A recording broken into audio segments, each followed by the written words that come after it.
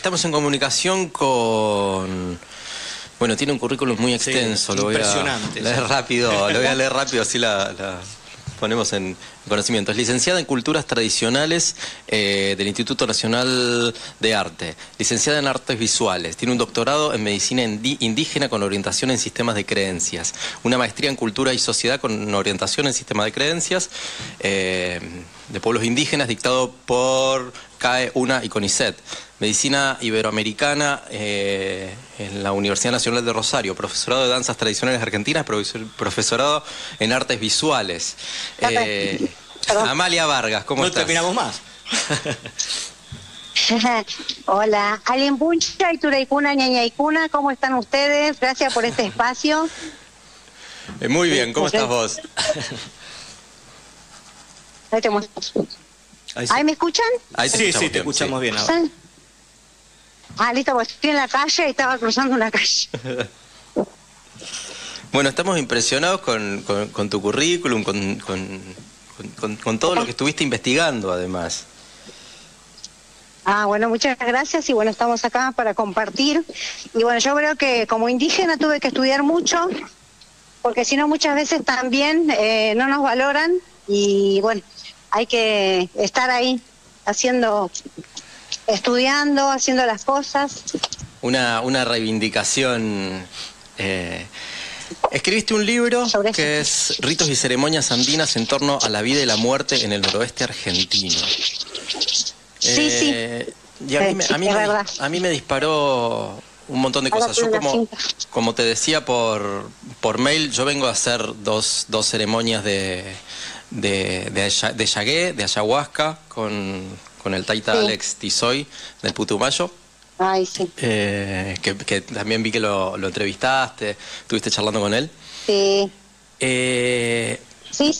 Puntualmente, puntualmente eh, sobre, sobre este libro y sobre los ritos, más que nada sobre la muerte, que te estuve escuchando bastante y demás, me, interesa escuchar tu concepción entre la diferencia entre la concepción que nosotros tenemos en, esta sociedad más, más, más capitalista, eh, más citadina y demás, eh, que creo que es una, concepción sobre la muerte que nos causa muchísimo sufrimiento en contraposición con, la, con, la, con la cosmovisión indígena.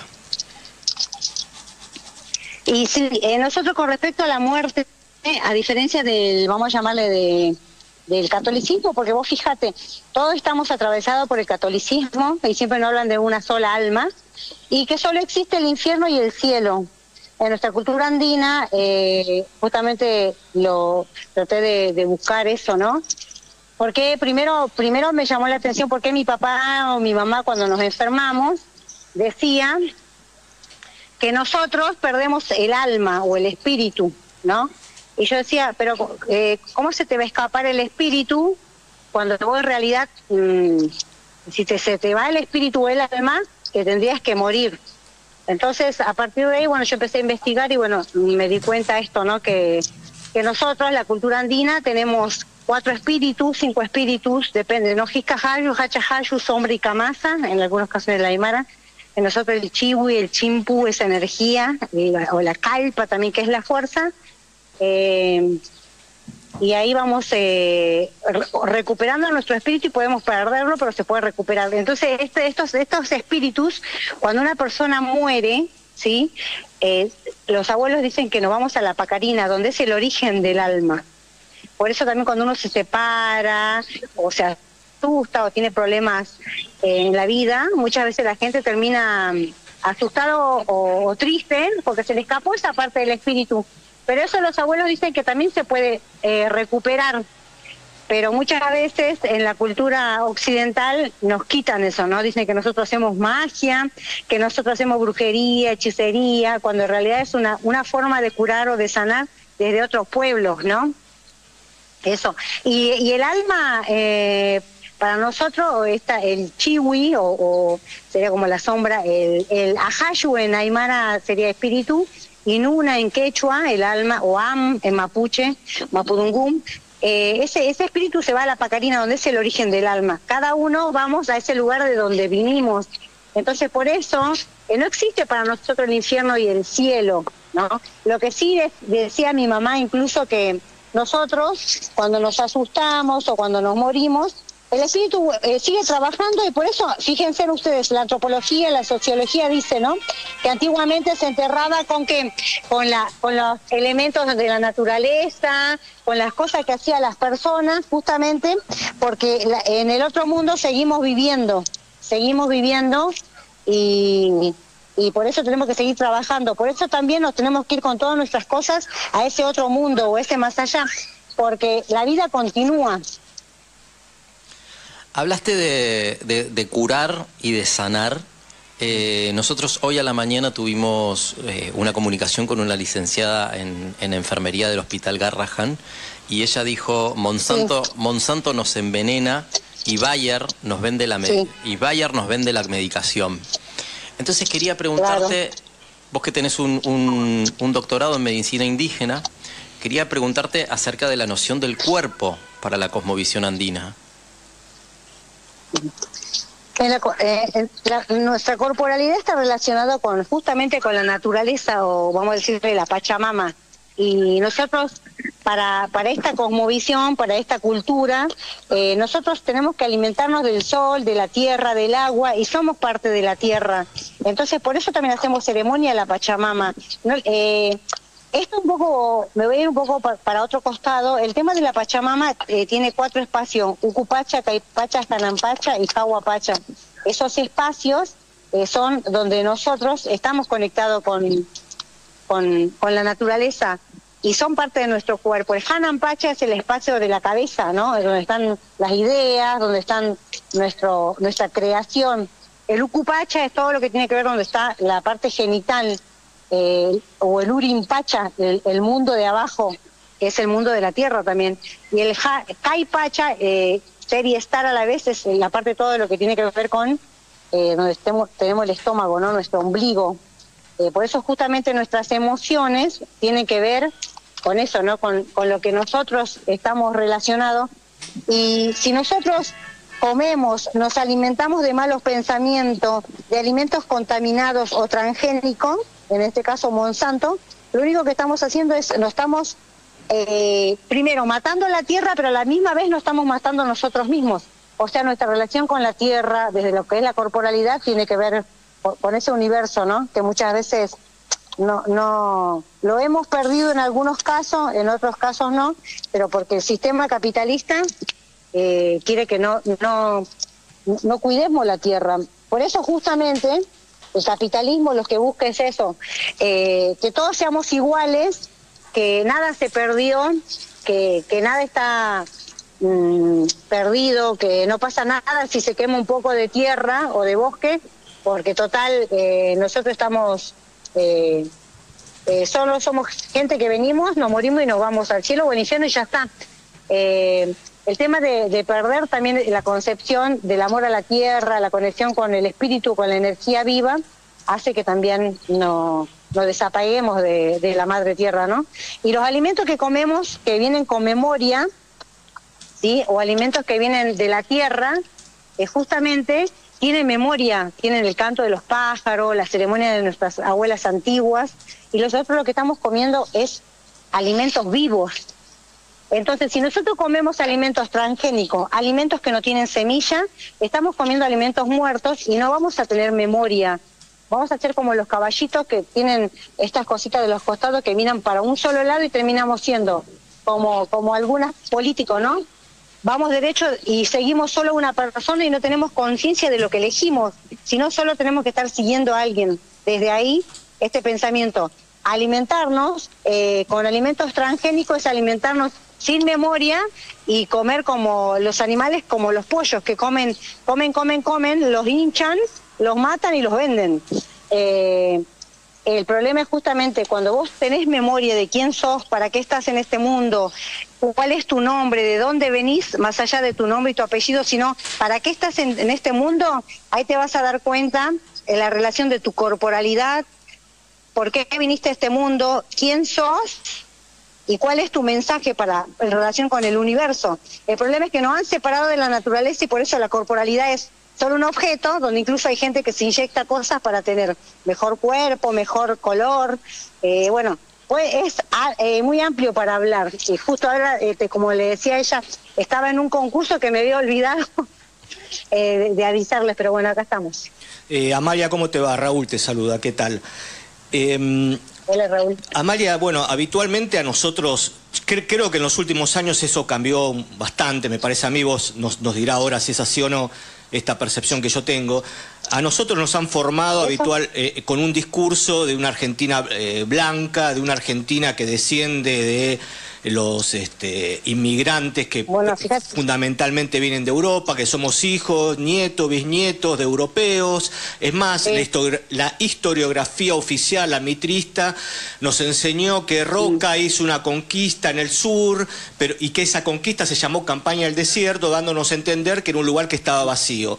¿Cuál es la situación actual para vos de las poblaciones indígenas en la Argentina? Que yo calculo que son, como son bastantes, están diseminadas en, un país tan extenso, no debe ser igual en todos los casos. ¿Cómo estás viendo ahora la situación de los pueblos indígenas, fundamentalmente a partir del nuevo gobierno que ha implementado algunas políticas que vuelven para atrás en este campo, ¿no?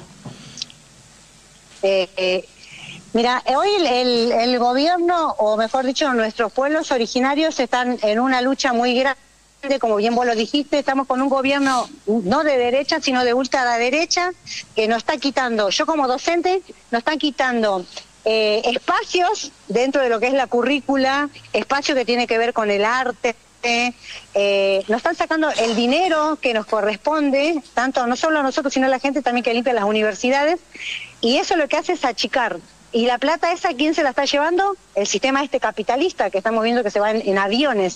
En este momento, ayer estuvieron en la ONU los hermanos tanto de la cultura del pueblo Cloya y de la comunidad de Laguna de Guatash, que es la zona de Jujuy, que es de territorio, que es Salinas Grandes, donde justamente eh, ellos están en la ONU eh, mostrando cómo eh, tanto el Rigi, tanto eh, Israel y Mecorot, que se vienen a llevar nuestra agua, se vienen a llevar nuestro litio, yo soy de Jujuy, donde este, este oro blanco que están utilizando tanto para las nuevas tecnologías, aviones, autos, eh, computadoras, teléfonos, se la llevan nosotros, entonces es como que yo entro, señora, señor, usted que está escuchando, a su casa, le quito su terreno, me hago millonaria y a usted la dejo en la calle. Más o menos eso no está pasando en Jujuy. Así pasa también a, a, los hermanos mapuche, ¿sí? en el sur de Argentina, que están luchando por el agua y contra las megas mineras y contra los territorios que ya ellos hace un montón de años que tienen propiedad de manera comunitaria por la ley 26.160. ¿Cuál es el problema? El sistema capitalista o este sistema, sobre todo el presidente de hoy, no justamente está militarizando, está eh, soltando muchos mucha gente que, eh, que, eh, estaban presos para seguir asesinando a los pueblos originarios.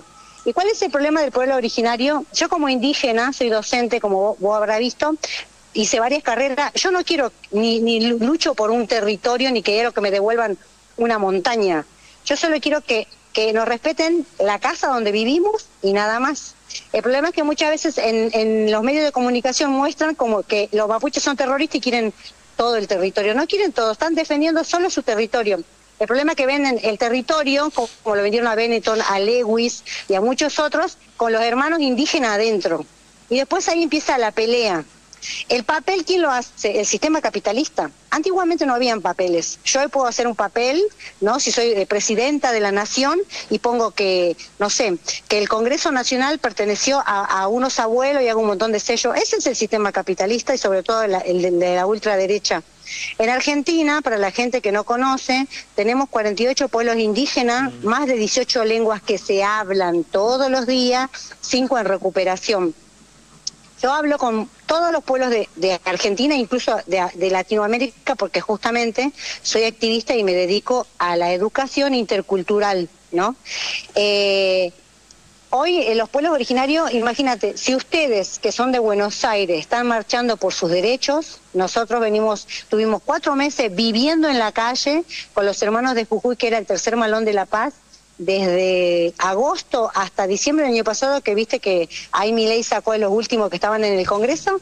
Y bueno, eso mismo veníamos luchando por justamente por el señor Morales, que creó nueva constitución, creó nuevas leyes donde yo no puedo no puedo caminar a la calle porque me cobran 25 mil de multa cada vez que yo camino. Entonces, el problema es que ellos crean las leyes para agarrarse el dinero y que vos nunca te puedas quejar. Ellos mismos son los que crean. El problema cuál es? Que la gente muchas veces nos, nos ven en la televisión, no solo a nosotros, no también a ustedes que hoy están luchando, a los, a los jubilados, que son violentos, no. El problema es que tendría que ver la gente y venir acá eh, a, Plaza Congreso, Avenida de Mayo, cuando estamos en la marcha, que estamos marchando pacíficamente por los derechos que nos corresponden o para que cambien la ley y no nos quiten más derechos, solo para que no nos quiten y te pegan, te tiran gas lacrimógeno y en la televisión salen que la gente es salvaje. La gente se defiende, por supuesto, pero así estamos hoy en Argentina. Los pueblos originarios estamos peor que antes con respecto al gobierno anterior. Pero yo creo que ahora estamos muchos mal, eh, tanto la gente, los docentes, el jubilado, eh, pero la gente, muchas veces el que tiene plata lo ve desde lejos y no se da cuenta, pero hay gente que no tiene para los remedios. Hay gente que le viene 30 mil, 40 mil de luz, que son gente jubilada que cobra 300 mil con 300 mil, ¿qué vas a pagar si no te alcanza ni para comprar los remedios, la luz, el gas?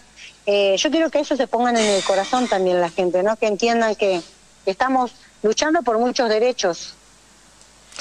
Amalia, queremos agradecerte esta, comunicación. Nos quedamos sin tiempo, pero, pero y nos quedamos con muchas ganas de seguir escuchándote. Eh, vamos a dejar a disposición tuya este programa para cuando vos quieras muchísimas gracias a ustedes y, bueno, y gracias por este espacio que es súper importante para nosotros y que la gente que está del otro lado eh, conozca también, ¿no? Que estamos en un tiempo de colonización y estamos trabajando los docentes de la descolonización. ¿Qué significa la descolonización? Que ustedes, a los que están escuchando, ¿cuántos pueblos conocen de los 48? ¿En la escuela le han enseñado esos, esos pueblos? Bueno, esa es una forma de invisibilizarnos, de que no le hablen que nosotros existimos y después de pronto reaparecemos. No, nosotros existimos, nada más que nos han puesto como una sábana y somos invisibles. Muchas gracias. Gracias, semana. semana. Gracias,